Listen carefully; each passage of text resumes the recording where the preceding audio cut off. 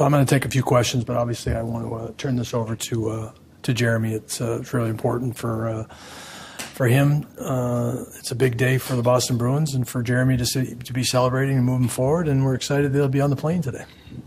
So I'll take a couple questions and then turn it over. negotiated a lot of big money, uh, several big money deals. Was this the, the most difficult negotiation you've dealt with?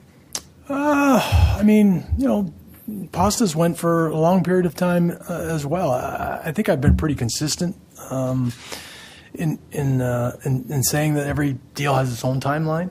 Um, you know, there's twists, turns, and such. You'd hope they'd be you know a straight and narrow path, but it just doesn't always work out that way. And uh, you have to be respectful of of uh, and listen. I think that's part of this whole exercise of, of going through negotiations. You have to be willing to listen to what's important for for uh, for the other party. And and ultimately, when you our plan was um, to negotiate a deal, and and uh, in a perfect world, we we both agreed that that the longest deal we could we could find uh, once we got to common ground was was uh, was what we were hoping for, and that's that's where it ended up. What kind of impacts did Monday have with Cam's comments and that Lewis's response? I mean, you know, Jeremy might comment further, but for me, that's just an indication of, of both sides would like to find a deal, and, and ultimately we did. Um, I don't think it necessarily move things, you know, because we had deadlines anyway from a standpoint of, of we wanted Jeremy uh, in our lineup and, and he wants to play hockey. Ultimately, he wanted to play for the Boston Bruins, and that's the result. So, you know, we're, uh, we're happy moving forward, and uh, we got some roster stuff we have to do as a result of that. Yesterday, I had, I had some cap space. Today, I don't have as much. So we, we unfortunately have to make some, some really hard roster decisions, but that's part of the business too.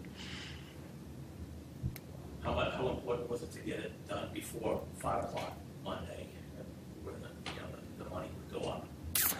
Yeah, I, I mean, you know, there's a there's an offset. You know, Jeremy's goes down, ours goes up, so it's it's it's a good compromise to be to be in the position we are today. To be perfectly honest with you, uh, and that was what our our hope was all along. Um, you know, I think I was pretty honest that the team was being hurt, and he himself not without preparation and such. Now we're fortunate that he you know he does work hard, and, and he'll be in a good spot, uh, you know, to go in and. and uh, uh, support, you know, um, Joonas um, for opening night, and then we'll, we'll he and Bob will decide when uh, when he feels you know comfortable. But it won't be for lack of effort on his part in preparation to to, to be as ready as uh, as he can be in as soon as point.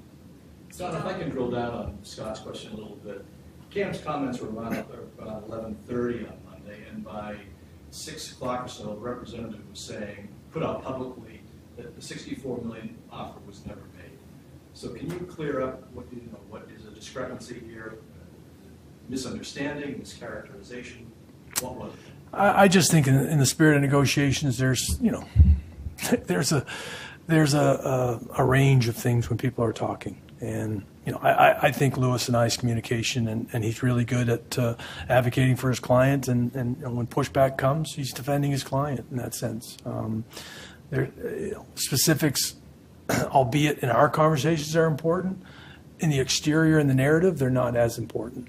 Um, just got to make sure you stay in communication and, and, and, work through some of those sticky points.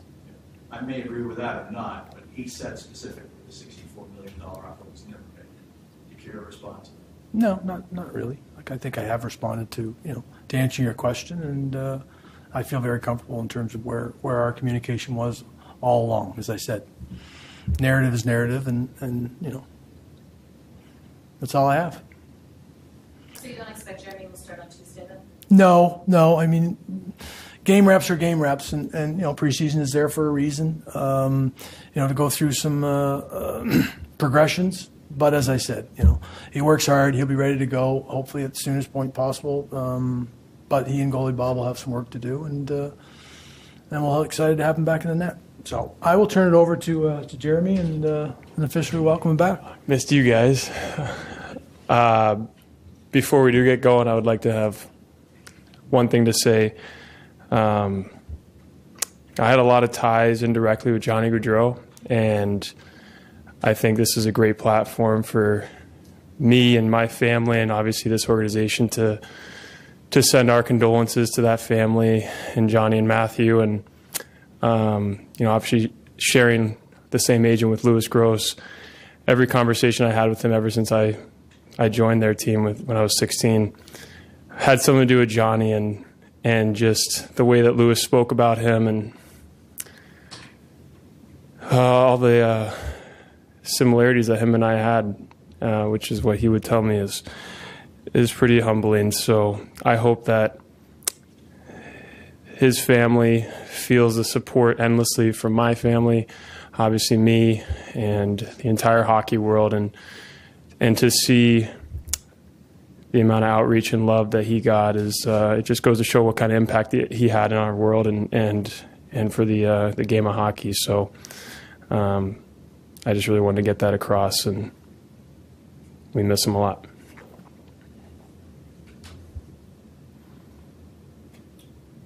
Right.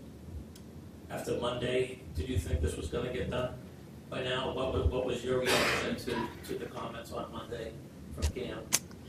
Did it help, help this deal get done?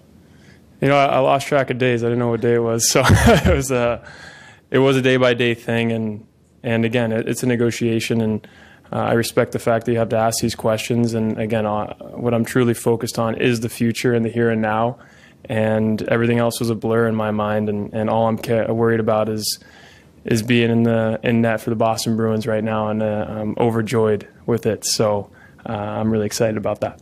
Were you at all concerned about maybe the court of public opinion swinging against you during this, this, this period?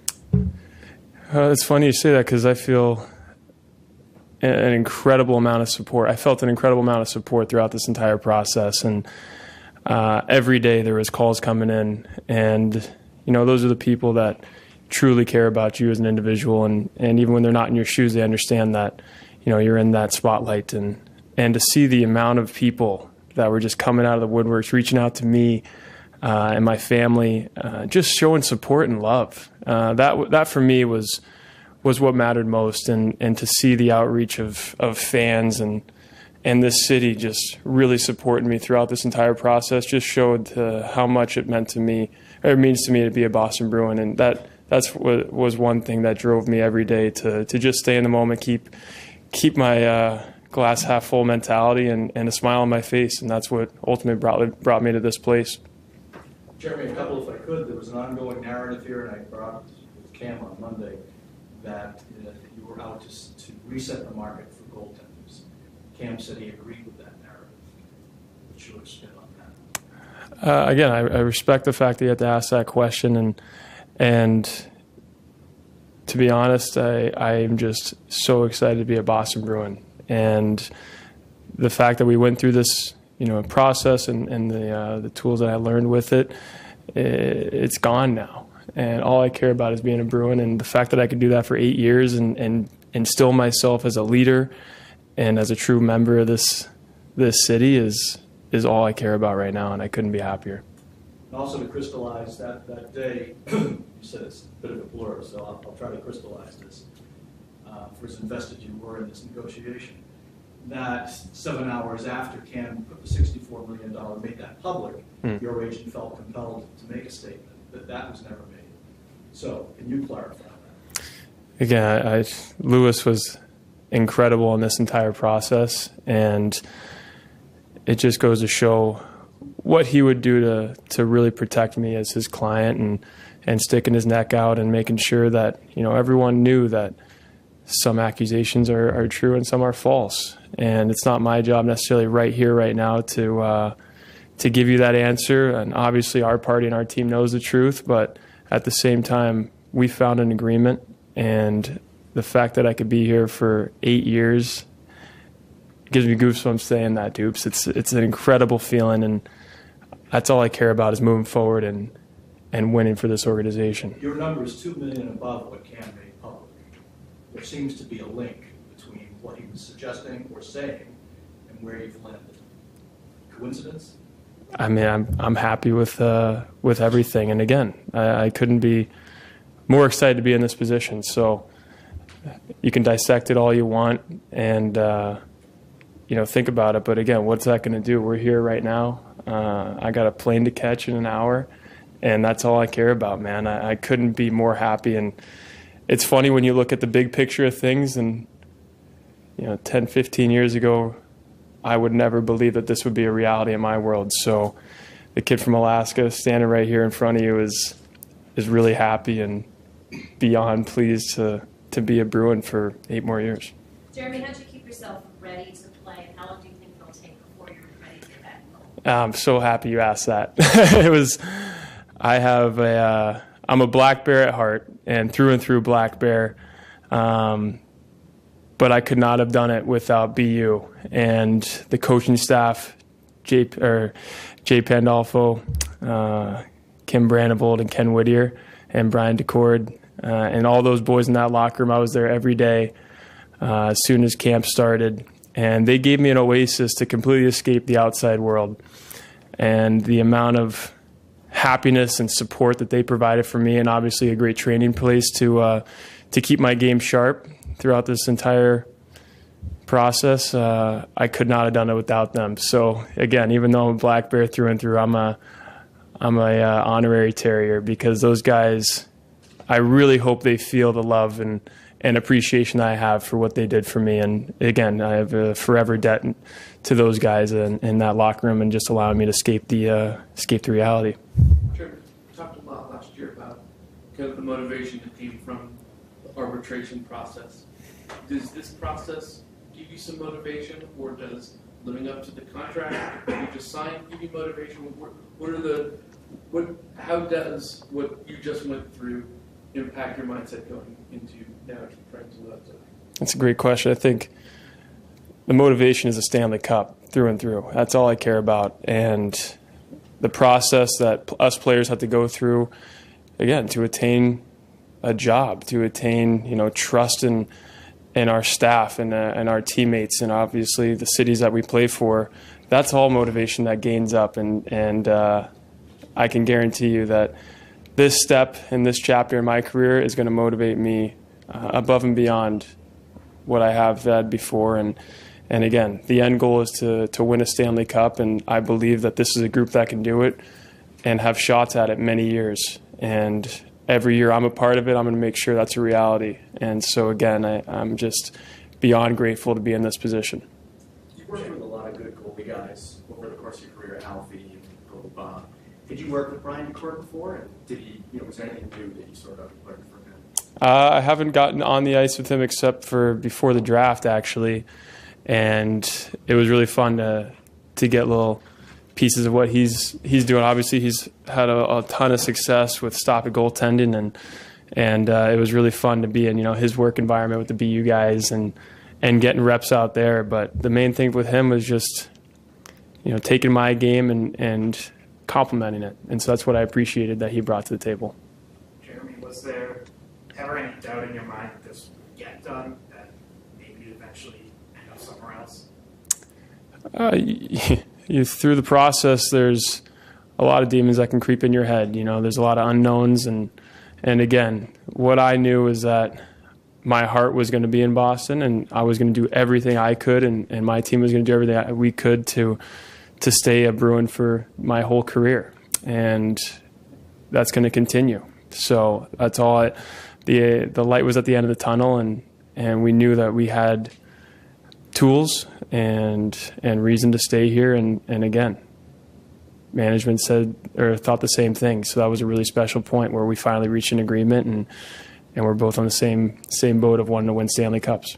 What's the Time to do more. what's the more. significant piece for you to get ready here for the first real, for the first real game? I think just doing what I've been doing, and that's being the hardest worker on the ice every time I possibly can be. And and you know, even though I didn't have uh, as much flow drills and and obviously game uh, game type scenarios lately, that's going to be something that clicks right away. And as players, we all know that it only takes you know a couple real good skates to get back into the rhythm of things and and that's our jobs. And so my job is to do exactly that is when i start getting reps i'm going to be game ready. I want to be game ready right away you know it's going to be fun teasing you know i want to start every game. So i'm excited for that uh, that challenge So is it not too fine a point? Is that three days? Is that five days? that's right now dupes you know that Last one, Jeremy, Jeremy. last I spoke to you was at the Boston Tri. You said you really enjoyed getting to know the city better. What does Right. it mean to you to now be in the city for the next eight years, and what words do you have for the uh, that's goosebumps right now. It's uh, it's everything. And again, I couldn't have done this process without the the incredible support of the city and the fans,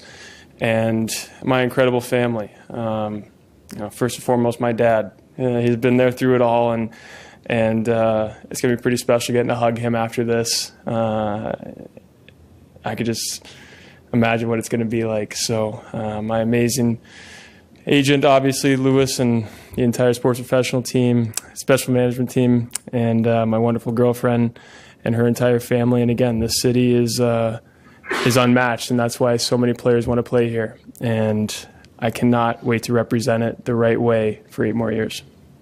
Thank you. Thanks, guys.